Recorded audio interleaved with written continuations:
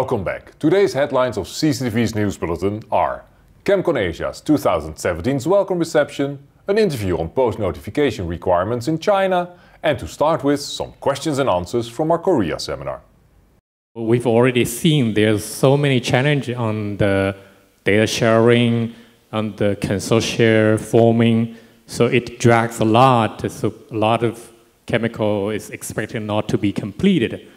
So from your perspective, how do you see, like from government side, from industry side, what we can do to tackle these challenges to eventually register all these chemicals? Since we are now have sorted out a lot of the questions which are, were open in the beginning and we know much better what we need to do to put ourselves in that position, um, we certainly will be able to use the time, say the gap year, say let's end at the end of the day 2018, um, to pay, prepare much more consortia to put them in the position to then much quicker share data.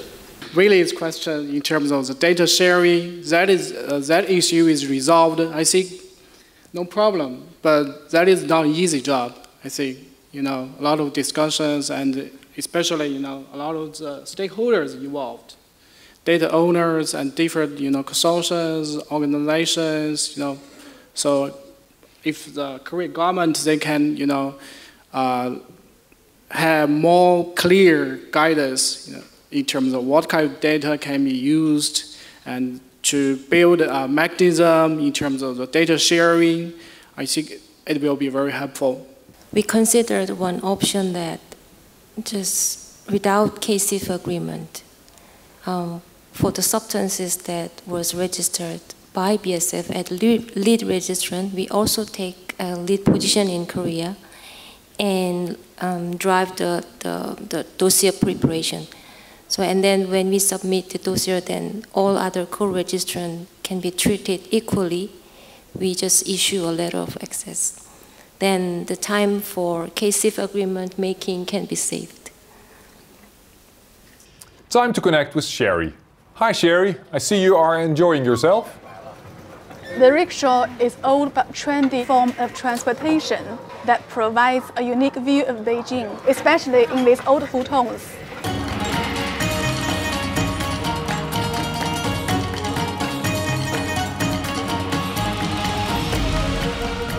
Hutongs once dominated the city of Beijing, but since the mid-20th century, they have been demolished in the name of modernization. Only a few still survive today, preserving this aspect of Chinese culture, history, and traditional life.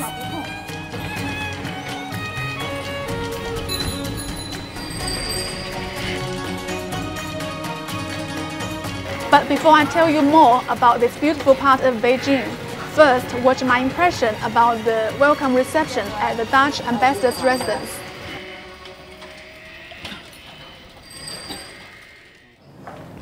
The welcome reception was organized at the Dutch Embassy residence in Beijing in Sanlitun area. The Dutch ambassador's residence was completed in 2007. The two gardens of the residence plays an essential role. There is a winter garden to enjoy nature indoor, shielded from the extremes of Beijing's climate in winter in the other seasons, the large outdoor garden provides a place for tranquility and rest. It provided an excellent location for Chemcon Asia 2017's welcome reception. For the occasion, the garden had a roof constructed of bamboo, showing various connection techniques with bamboo.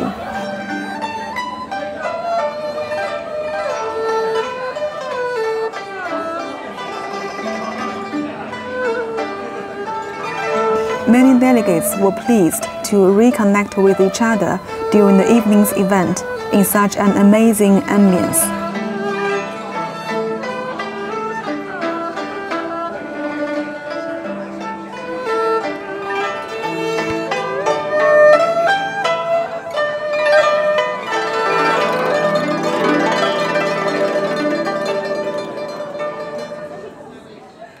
Thank you for your report. Meanwhile, we will watch today's interview on post-notification in China with Xiaojian Liu and Vincent Wang. After the companies successfully required the notification status, what are then their next steps uh, they have to do uh, for MEP to be on the market?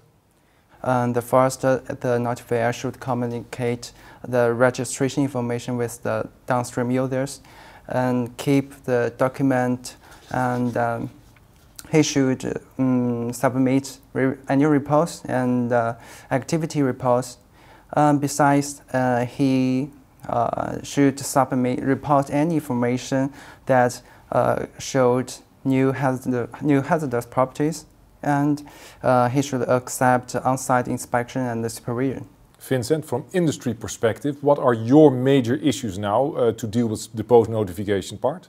Well, after you successfully got the approval, I think there are two major parts of it. First is the, to manage the information passed on through the supply chain. And you know, most of the chemical companies in China, they have a very complicated supply chain. There's a lot of small and medium customers. There's very complicated dealer systems. So how to make sure all those risk control measures, and information was passed through those supply chains and were successfully uh, enforced or practiced uh, in those customers. That's uh, very important. And the second part is, as uh, Xiaojian said, there's uh, if there is any new information founded about the substance, if there's any new applications developed, they should report uh, accordingly with the new information or the new risk control measures. How are companies preparing to get uh, substances on the existing inventory? First is that if you just finished your new chemical substance notifications, you need to immediately prepare yourself for the first import, to submit annual imports, and all those uh,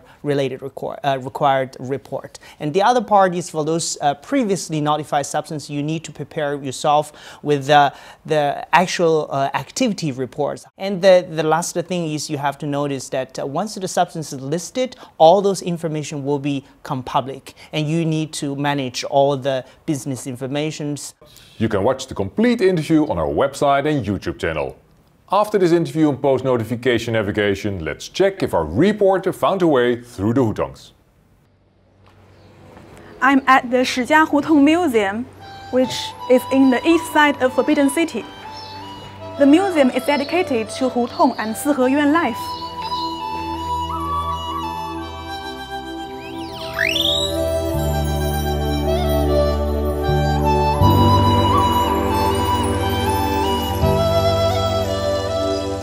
The carved yard homes that when joined side by side comprise a hutong.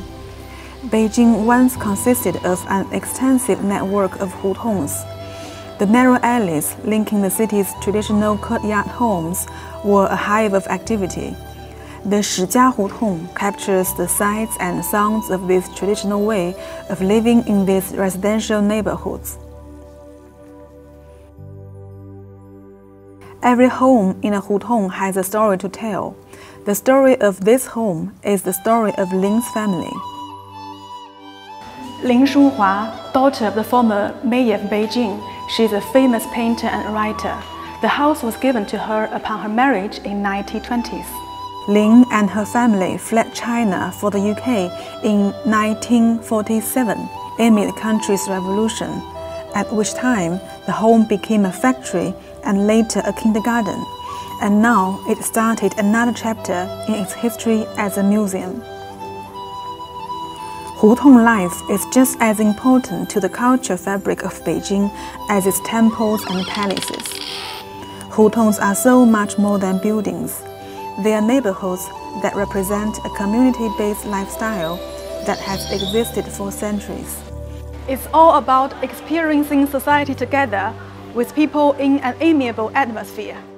Well said. Looking forward to seeing you at our social event at the Great Wall. ChemCon is also about the atmosphere and the people. The social networking events at ChemCon are part of our social fabric, as well as our exhibition. All exhibitors will warmly welcome you this week in their booth. To further encourage this, you can collect stickers at each booth. Collect all stickers and enter our prize draw with many prizes from our exhibitors. Which brings me to the statement of the day. One of our exhibitors and partners of ChemCon Asia 2017 is here for the statement of the day. From Reach24H, Robert Kiefer, General Manager, Reach24H USA. Robert, welcome. Thank you, Chair. Robert, from the USA, can you share the latest news on the TSCA developments? This is the one year anniversary of the signing of the Frank R. Lautenberg Chemical Safety Act for the 21st Century, better known as LCSA, which was signed by then President Obama. Uh, the statute uh, requires that the three framework regulations uh, be finalized this week as final rules. And they include the TSCA inventory reset, the prioritization process rule, as well as the risk evaluation rule. And your statement is? I encourage industry to consider submitting manufacturer requested risk evaluations for their substances of concern. Thank you very much. Let us know what you think about this, and I'm sure we're going to learn more in February 2018 at ChemCon the Americas. Yes. Now it's time for the forecast of the day. This morning is fully dedicated to China, safety legislation, notification and GHS, as well as a comparison of Chinese legislation with other regions on transport, road and food contact. In the afternoon we first look into data sharing and CPI issues before looking at the Great Wall. Thank you for watching and enjoy tonight's social event.